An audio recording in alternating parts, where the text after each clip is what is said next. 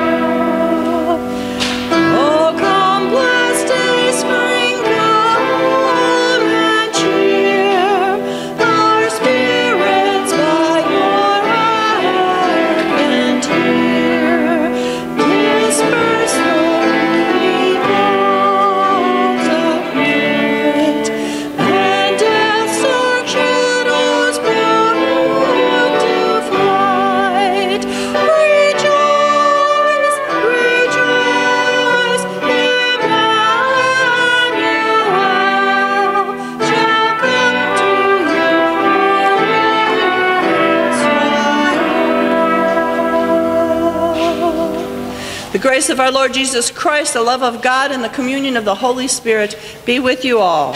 And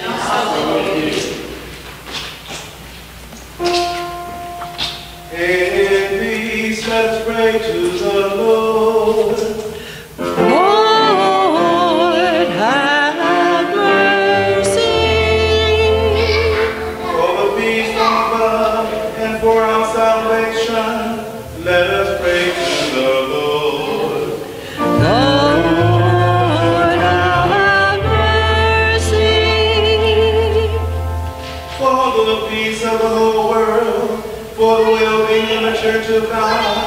the unity of all. Let us pray to the Lord.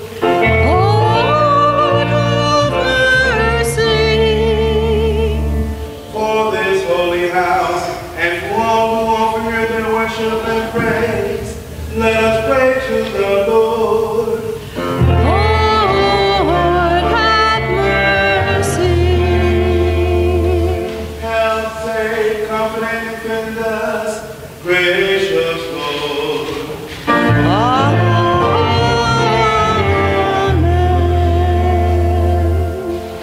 Lord be with you.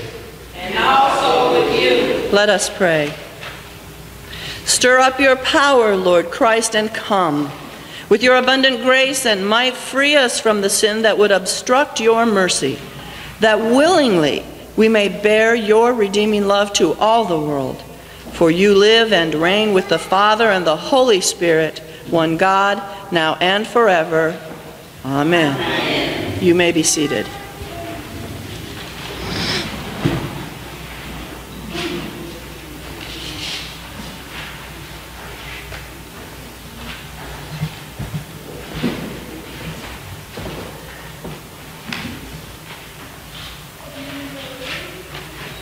A reading from the seventh chapter of 2 Samuel. Now when the king was settled in his house, the Lord had given him rest from all his enemies around him. The king said to the prophet Nathan, See now, I am living in a house of cedar, but the ark of God stays in a tent Nathan said to the king, Go, do all that you have in mind, for the Lord is with you. But that same night the word of the Lord came to Nathan. Go and tell my servant David, Thus says the Lord, Are you the one to build me a house to live in? I have not lived in a house since the day I brought up the people of Israel from Egypt to this day, but I have been moving about in a tent and a tabernacle. Wherever I have moved about among all the people of Israel, did I ever speak a word with any of the tribal leaders of Israel, whom I commanded to shepherd my people Israel, saying, why have you not built me a house of cedar? Now therefore thus you shall say to my servant David, Thus says the Lord of hosts, I took you from the pasture, from following the sheep, to be prince over my people Israel. And I have been with you wherever you went, and have cut off all your enemies from before you and I will make for you a great name, like the name of the great ones of the earth. And I will appoint a place for my people Israel, and will plant them, so that they may live in their own place, and be distur disturbed no more. An evildoer shall afflict them no more.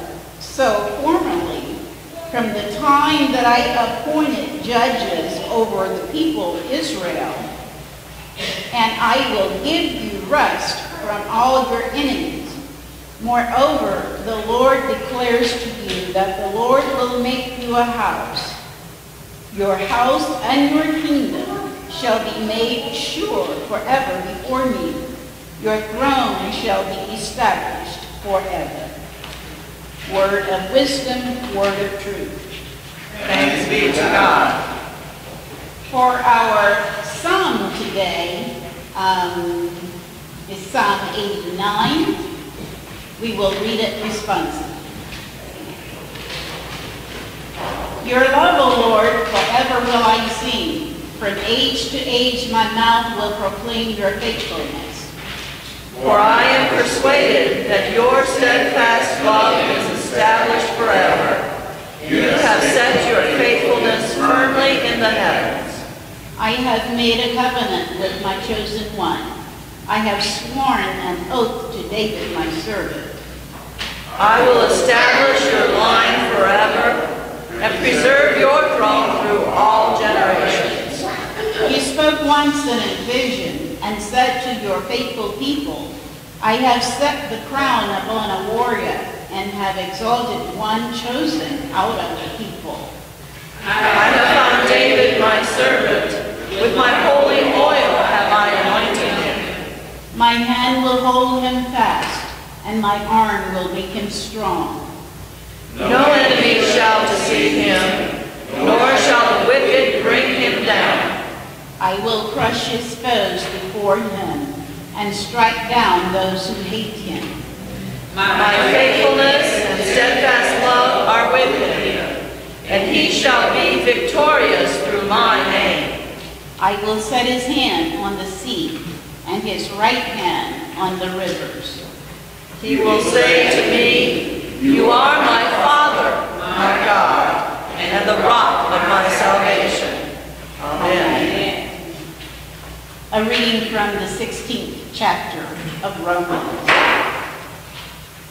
Now to God who is able to strengthen you according to my gospel and the pro- proclamation of Jesus Christ, according to the revelation of the mystery that was kept secret for long ages, but is now disclosed, and, though, and, and through the prophetic writings is made known to all the Gentiles, according to the command of the eternal God, to bring about the obedience of faith to the only wise God, through Jesus Christ, to whom be the glory forever.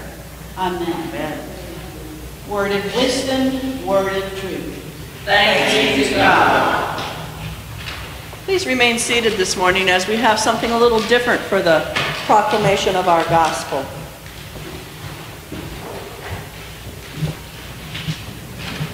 As you'll hear in a few moments, today is what they call Gaudete Sunday. Gaudete means rejoice, joy, be joyful.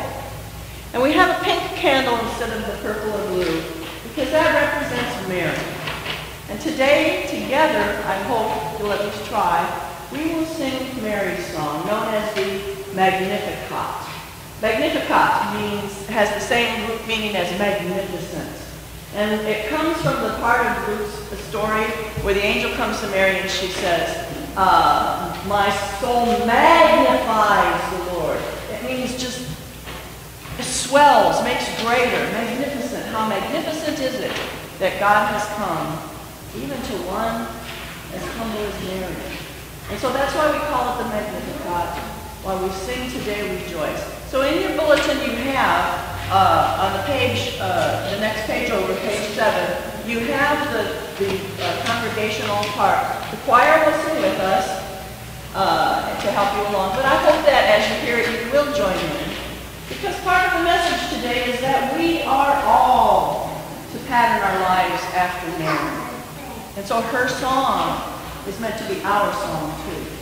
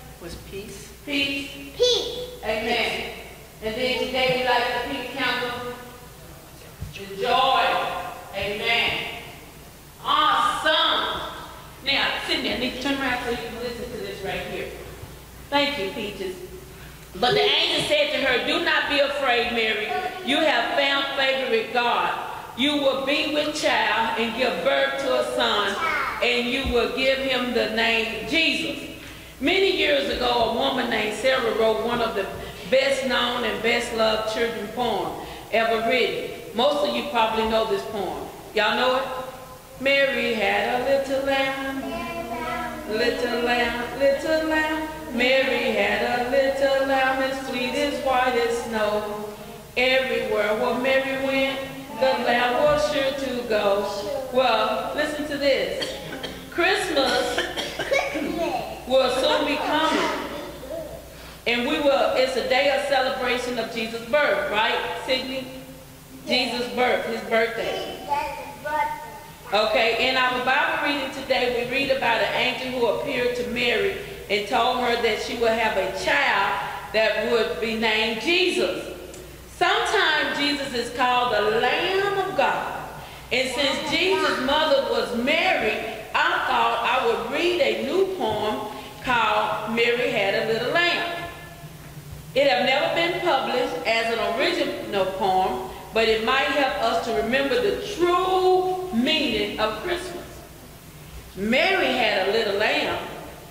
He was born on Christmas Day. She laid him in a manger to sleep upon the hay. Angels filled the nighttime sky and they began to sing. Shepherds heard them all proclaim the birthday of the King. Wise men saw a blazing star up in the sky that night. They followed it until they found the King of love of light. Mary had a little lamb, but he wasn't hers, you know. He was the very Son of God, the one who loved us so. The father of that little lamb loved the world so much that he sent his only son to earth so we could feel his touch. She came to give us joy and peace and take away our sins. So when she, come here little baby, so when she uh, knocked him on her heart, uh, so when he knocked on her heart door, be sure to let him in. Why do I love this precious lamb? what can the reason be? The answer is quite plain to see. It's because he first loved me. Sydney, who first loved us? Me. Jesus. Say Jesus. Jesus. Okay, listen, who first loved us? Say Jesus. Jesus loved us first. Let's bow our heads in prayer. Amen. Dear Lord, thank you for sending your precious lamb to take away our sins. Help us to remember as we celebrate his birthday that he was the greatest gift in, of all. In Jesus' name we pray, amen. Me tell you something.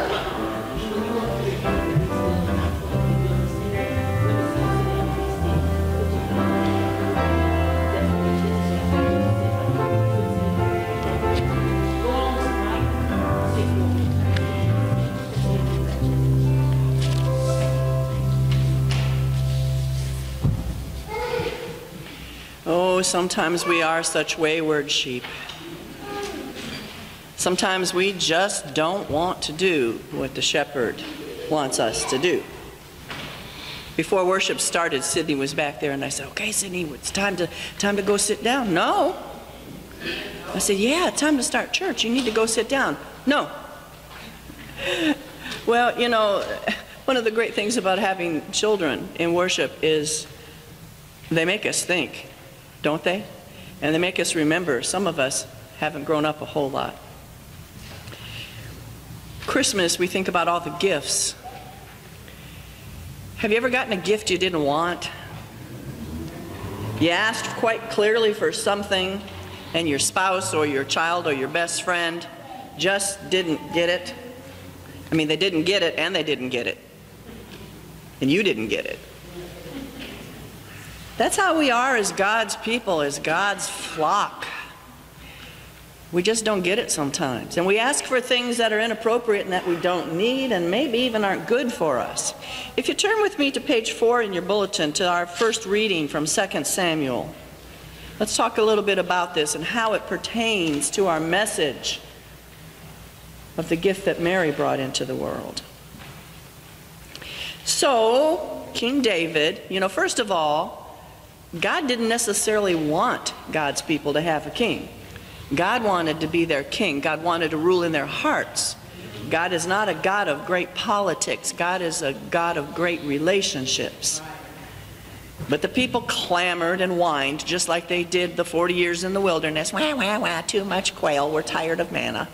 Well, and then after they got into the promised land and things were going well and God gave them the judges to help rule over them, wah, wah, wah, we want to be like other nations. We want to have a king.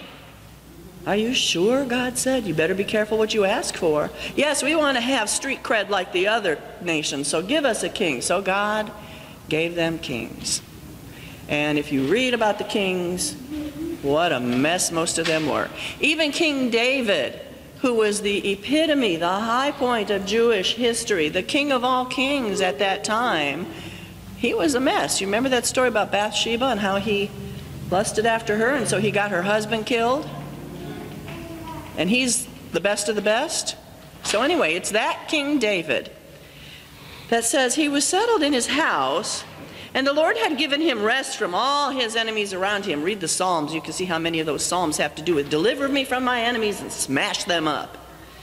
So he says God had given him rest from all his enemies. And the king said to the prophet Nathan, who was also the priest at that time, he says, See, now I'm living in a house of cedar, but the ark of God stays in a tent. Ooh. Nathan said to the king, Go ahead, do all that you have in mind, for the Lord is with you. Well, evidently, all the prophets and all the priests don't necessarily have the right word at the right time. So the word, that same night, the word of the Lord came to Nathan. He says, Go and tell my servant David, Thus says the Lord, Are you the one to build me a house to live in? I have not lived in a house since the day I brought up the people of Israel from Egypt to this day. I've been moving about in a tent and tabernacle. And wherever I moved about among all the people of Israel, did I ever speak a word with any of the tribal leaders of Israel, whom I commanded to shepherd my people, say, Why have you not built me a house of Caesar, cedar? So therefore, thus you shall say to my servant David, Thus says the Lord of hosts. I took you from the pasture, from following the sheep, to be prince over all my people Israel. And I've been with you wherever you went, and have cut off all your enemies from before you. And I will make for you a great name, like the name of the great ones of the earth. And I will appoint a place for my people Israel, and I will plant them, so that they may live in their own place and be disturbed no more. Moreover, the Lord declares to you that the Lord will make you a house and your house and your kingdom shall be made sure forever before me, and your throne shall be established forever. Now, here's the tricky part.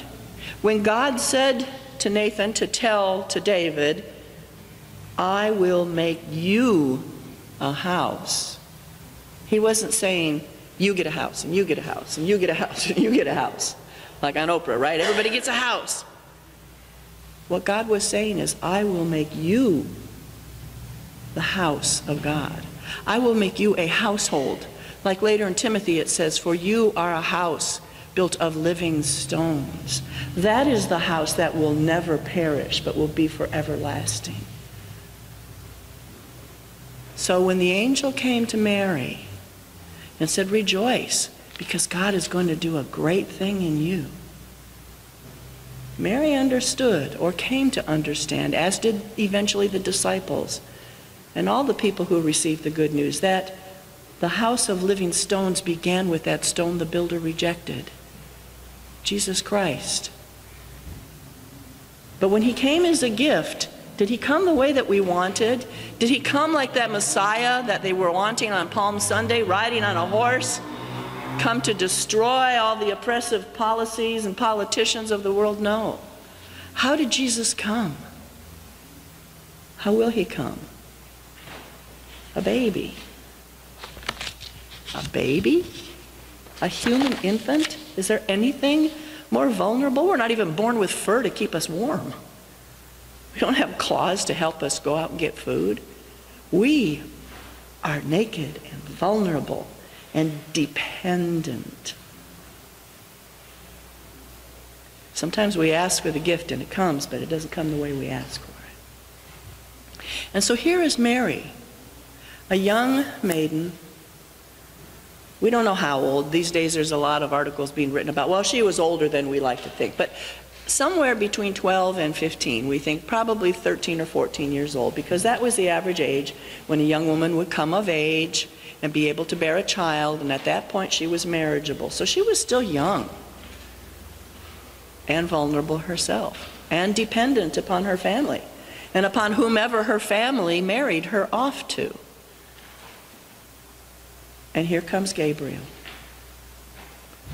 Now, you know, I think angels have a tough job. I don't think we give, especially these messenger angels. And Gabriel was the head messenger angel. That was his job, was to bring tidings and to send messages.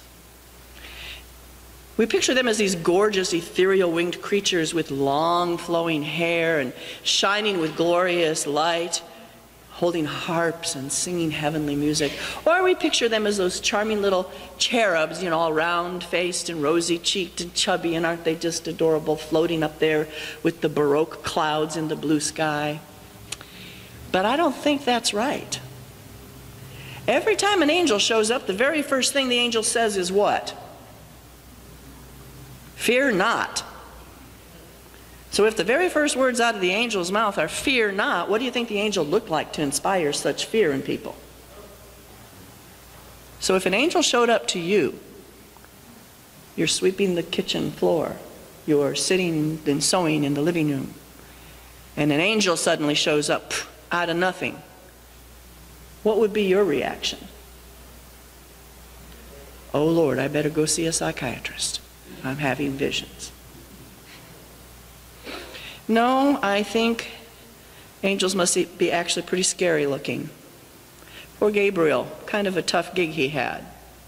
But we know that everything turned out all right. Because in the end, after all her questions and concerns and puzzlement, Mary said yes. Even though she must have been frightened by the angel's visitation, even though she must have been perplexed and bewildered and feeling wholly unworthy, it says it right there. But how can this be? Nevertheless, she persisted. And Mary said yes. William Barclay once said that the world's most popular prayer to God is, God, thy will be changed. But the world's greatest prayer is, thy will be done. And Mary prayed, Thy will be done. Let it be unto me according to your will. She said, Yes. Now, as Lutherans, we don't traditionally make a big deal of Mary. That has a lot to do with the baggage we carried about being broken off from the Roman Catholic Church. And if they were going to go to all these great lengths about all this stuff that they did with Mary, and they have special societies for Mary and Guadalupeñas and, and the uh, various different things, priests even have special uh, robes in pink and blue to, for the Mary Sundays and things like that. So Lutheran said, well, we're not Catholic, so we're not going to do that. And so we kind of tossed Mary aside after the Reformation. Even though Martin Luther had a lot to write about Mary and loved her and, and wrote about why it was appropriate to honor her and learn from her. If you look on our Facebook page, there's an article there that I posted this last week about, you know, what Luther had to say about Mary. I've come to understand, most of all perhaps, that Mary's story is my story. I've always loved the story of Mary.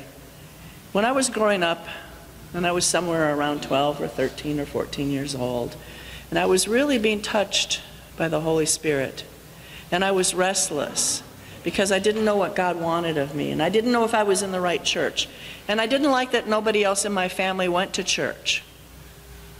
And so the prideful little part of me felt very special that I went to church every Sunday, but the other part of me knew. I came from a humble family. Neither of my parents graduated high school. We were poor.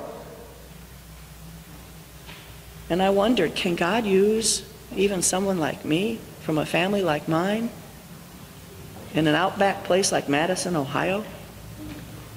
So Mary's song and Mary's story from a very early age have been mine because I wanted to see God change the world so that my dad didn't have to work triple shifts to put food on the table and my mom didn't have to take the night shift because she never got the education of the other nurses. I wanted God to turn the tables.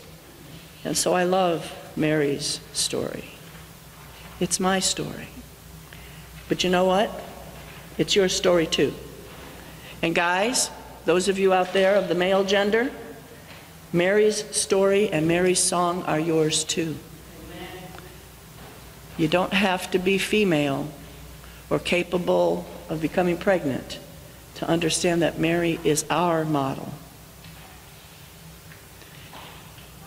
It's a story of saying yes in the midst of great doubt. Despite all the doubts and despite what the world says is possible and is impossible, despite what society says about who is and who is not worthy of God's favor, of receiving God's power from on high, God turns the tables and says, I will choose whom I will choose. And you are favored among people. So today the word is described as joy. And I think it's a day to be thankful that this brave young woman did say yes. That in the face of all this fear and confusion, yet she rejoiced in this impossible thing that God was going to do with her. So we need to remember that Mary was free to say no to God. Did you ever think of that? I read an article a few years back about how God went searching for the perfect Mary. Didn't know that her name had to be Mary. Went to Phoebe, went to Lydia, went to Rachel, and everyone said, Oh, well, you know, I don't think so, God. Thank you very much. It's nice of you to stop by, but no, this is not in my plans. This is not the gift I asked for. Okay? I prayed to you for a husband. I prayed to you for a rich husband. I prayed to you for a family and children that were healthy, but I didn't pray for this. So God says, Oh, well, okay, and he goes on to the next one. What if Mary had said no? What if all the Marys had said no? But of course, it couldn't happen because God knew this Mary. God knew her from the time she was knit together in her mother's womb. And he knew her courage and her feistiness. So when the angel Gabriel gave Mary the news that she would bear God's son, eventually Mary replied, I am the servant of the Lord. I live to do your will. That's how we're all Mary. She is our pattern. Just as we follow Christ and He is our perfect example, so too is Mary. You see, first Mary asked questions. She was surprised and she was frightened. She was confused and perplexed, but nevertheless, she did say yes.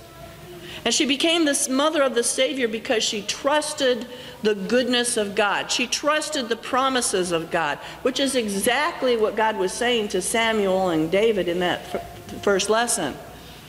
Do you not know that I have been with you faithfully all along and I will be with you forever? We too can say yes because we know that. We have Christ who has shown us that. Now, in the Eastern Orthodox Church, the tradition of Mary is highly regarded, but in a different way than the Roman Catholic Church. And her title is Mary Theotokos. Theo, Theo means, of course, God, like theology. Tokos means to bear or to bring. And so she is Mary, the God bearer, the bringer of God into the world, the one who bears God into the world in human flesh. And I love it because it's a name that, a title that captures both the mystery and the majesty of the incarnation, as well as that humble nature of this most common human event, being born in blood and water, naked and vulnerable the humble nature of the incarnation as well as the profound mystery. So it is that in Mary's story we learn the message of Christmas is that God does not come to us in the world as we expect or as we ask or want. No, instead, God's Holy Spirit intrudes, breaks into the world, into the lives of the most unexpected the least likely. God's glory breaks in through the unexpected ones, through the weak and vulnerable, bestowing blessing and favor not in the high places of power, but as the song says, in the humble of heart. You have lifted the humble of heart.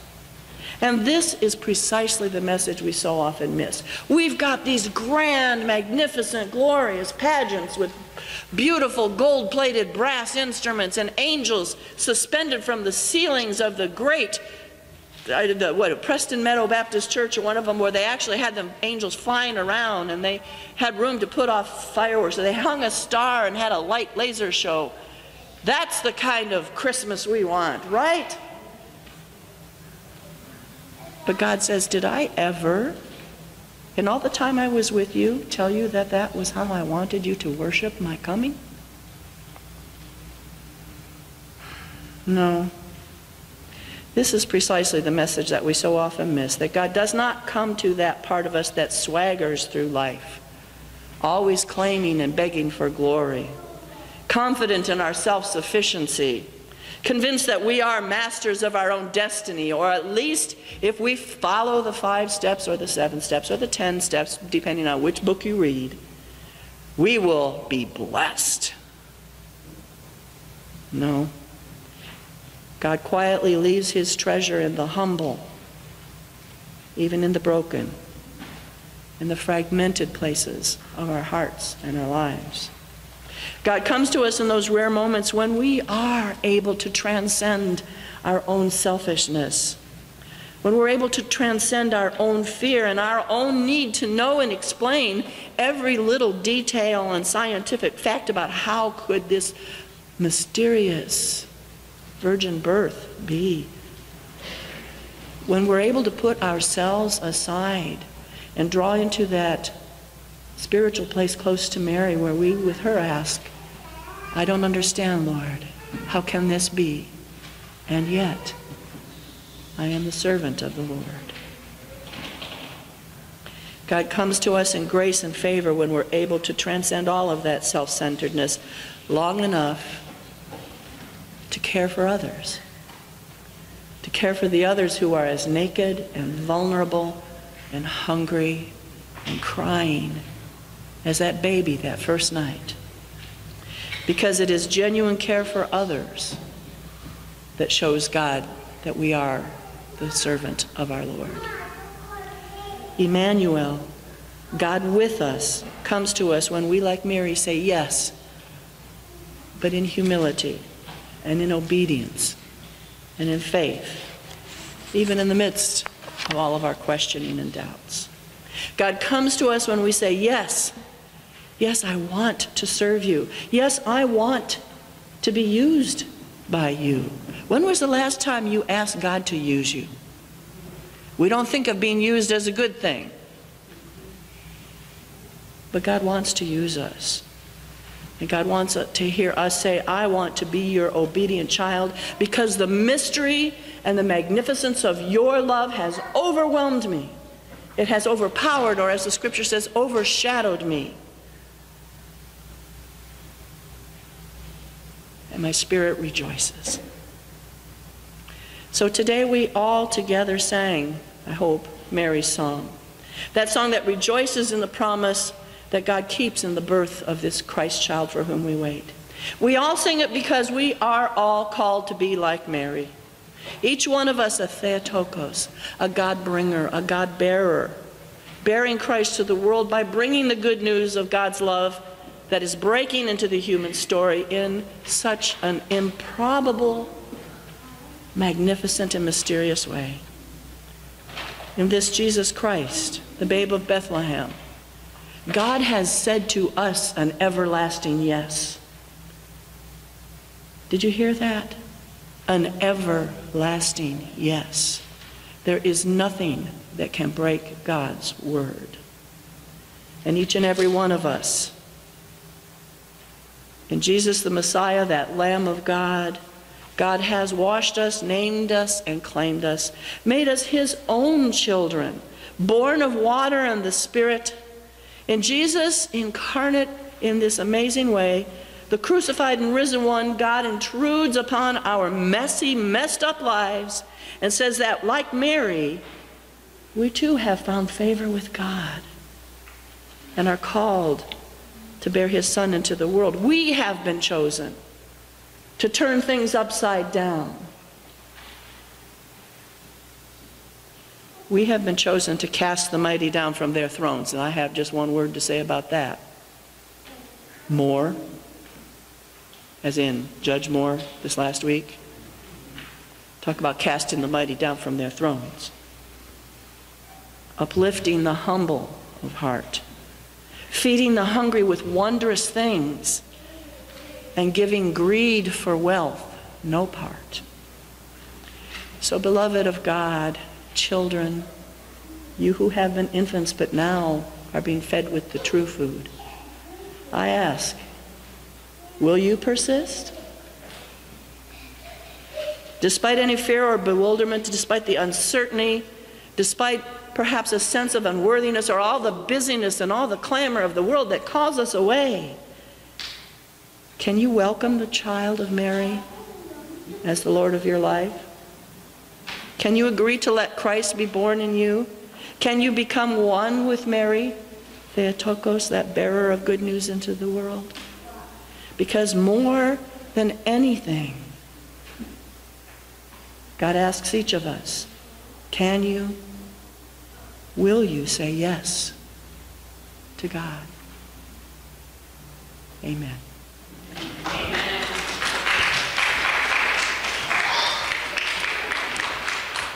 please rise as we prepare to sing the hymn of the day, which is found in your bulletins, and we'll sing it to a very familiar tune that you know.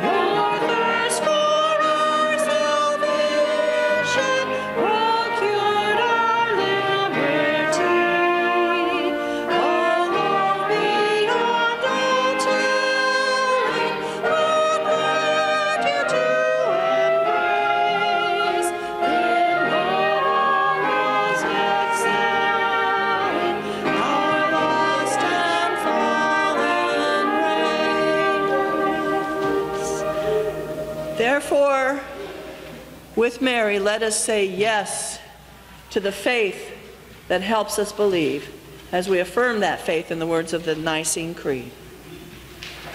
We believe in one God, the Father, the Almighty, maker of heaven and earth, of all that is seen and unseen. We believe in one Lord Jesus Christ, the only Son of God, eternally begotten of the Father, God from God, light from light, true God from true God, begotten, not made, of one being with the Father. Through him all things were made. For us and for our salvation, he came down from heaven. By the power of the Holy Spirit, he became incarnate from the Virgin Mary and was made man. For our sake, he was crucified under Pontius Pilate. He suffered death and was buried. On the third day, he rose again in accordance with the scriptures.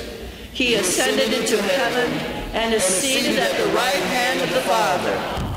He will come again in glory to judge the living and the dead, and his kingdom will have no end. We believe in the Holy Spirit, the Lord, the giver of life, who proceeds from the Father and the Son. With the Father and the Son he is worshiped and glorified, who has spoken through the prophets. We believe in one holy Catholic and Apostolic Church. We acknowledge one baptism for the forgiveness of sins. We look for the resurrection of the dead and the life of the world to come. Amen. Guided by the light of Christ, let us pray for that coming dawn of joy, healing, and comfort for all God's people. Your eternal reign has come into the world. Give us ears to hear your call to serve your kingdom, and send us to act to those who are hurting and in need of good news. Lord, in your mercy. You created the mystery and the beauty of the earth, replenished rivers, lakes, seas, and all bodies of water, so that plants, animals, and humans can have life and be refreshed. Lord, in your mercy. You bring down the powerful and raise up the lowly. Where war rages, shatter hatred with forgiveness and peace. Where fear rules, make your all-powerful and eternal presence known. Lord, in your mercy.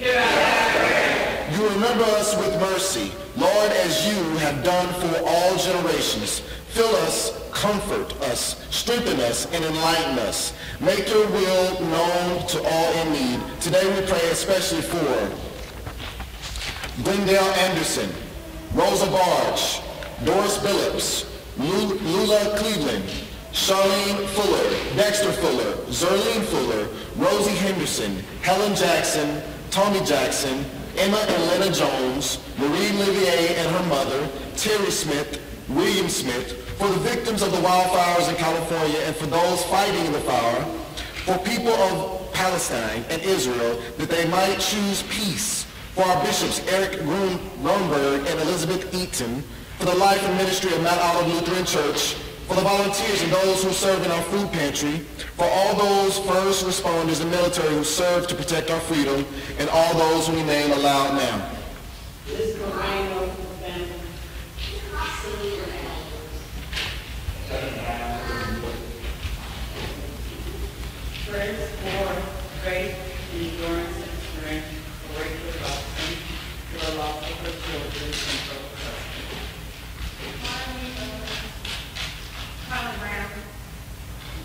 Toria Rodney Brown.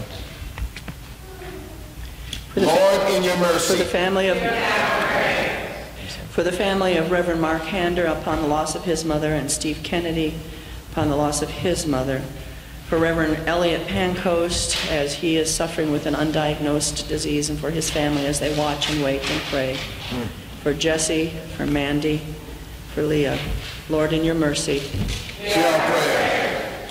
You called Mary to bear your son. We pray for pregnant women, for mothers and all followers of infants and small children, especially for couples who bear the pain of infertility, miscarriage, or stillbirth. Lord, in your mercy. Your kingdom has no end. With your service throughout time, women and men, old and young, unite us forever in your reign of peace and joy, Lord, in your mercy. We raise our prayers to you, O God, in the name of the one who is, who was, and who is to come, Jesus Christ our Lord. Amen. The peace of the Lord be with you always. And also with you. Forgive me for not sharing the peace with you this morning, but I am uh, fighting a bit of a head cold, so I decided not to share that with you as well. Peace of the Lord. Do. We do a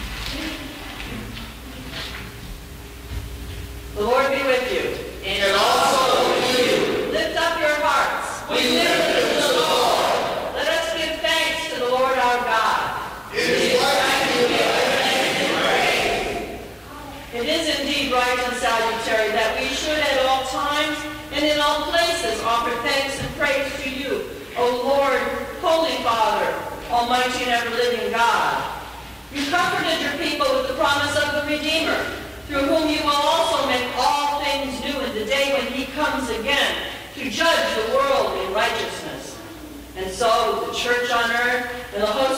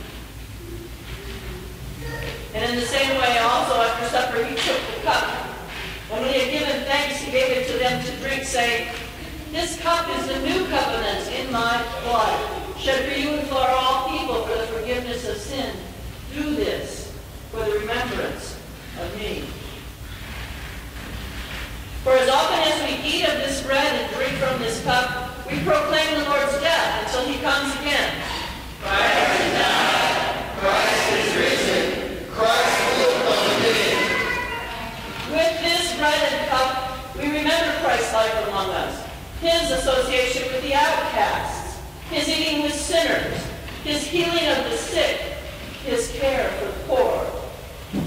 So now, we pray, your Holy Spirit upon us and upon this bread and wine, that we who share this meal may become ourselves a holy communion, the body of Christ in the world. Lord, remember us in your kingdom and teach us to pray.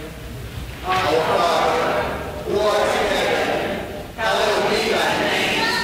Thy kingdom come, thy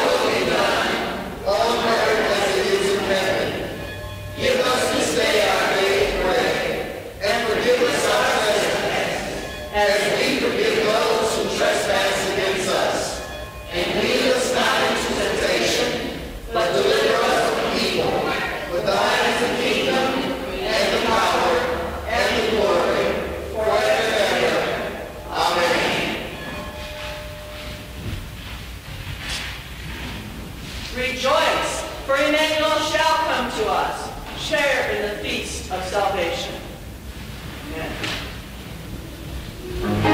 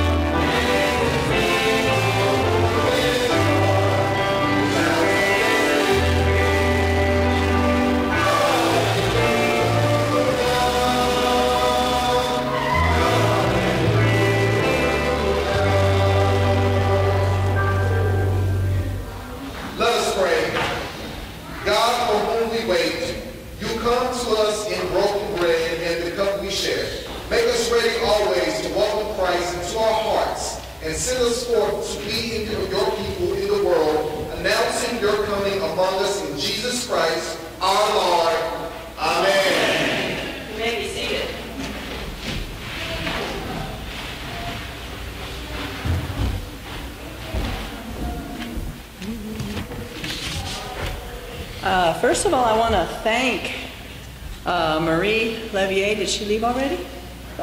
and Yarlet for the wonderful job, and all those who helped yesterday. Um, special thanks to Corey Brown, but we won't say why. they did a great job on our, our Mount Olive family Christmas party. But, um, yeah. And you should see some of those uh, gingerbread houses. My goodness. First place, I think. Miss- Miss Alicia? anyway, thank you. A lot of work goes into that, but it's a lot of joy of the season. So thank you. Um, uh, I do have a box now for coats, jackets, blankets, mittens, hats, anything like that. I didn't get the paper wrapped around it this last week. I didn't have time, uh, but it will be here next Sunday. So I want you to remember, if you, as you're bringing gifts to everybody else, bring something to church with you that will house or warm somebody who's as vulnerable and cold as that baby Jesus was that first Christmas. Okay, think about that. So we're looking for mittens, scarves, caps, jackets, hoodies, sweatshirts, sweatpants, anything that can help keep our homeless brothers and sisters a little bit warmer because the cold days are coming. They, they keep telling us that. So, anyway. Anything else today for the good of the order? Choir rehearsal after church? Yes? Okay. Uh, so please rise as you are able to receive benediction.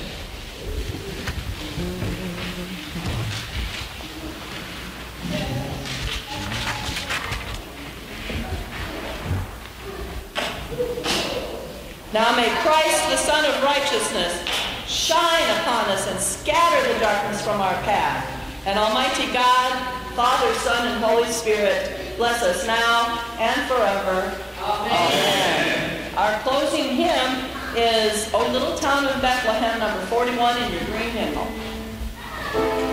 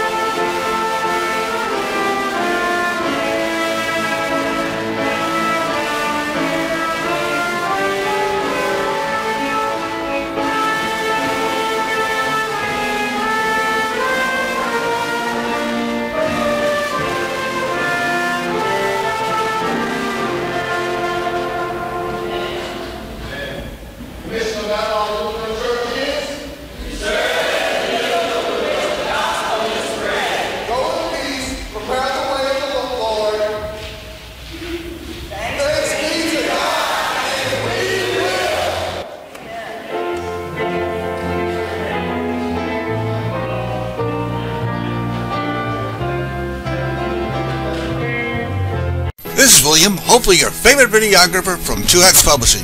I hope you enjoyed this video. If you like it, please leave comments below or like, follow, or subscribe to us and get notices of all our videos. We love it, even when you call.